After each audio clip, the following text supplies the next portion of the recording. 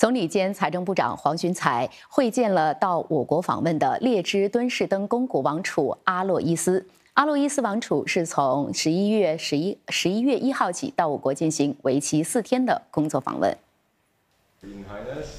黄循财总理今早与到访的阿洛伊斯王储举行会面，今天也是王储在我国访问的最后一天。他在访新期间还与尚达曼总统、外交部长维文医生以及主管贸易的永续发展与环境部长傅海燕等多位部长会面。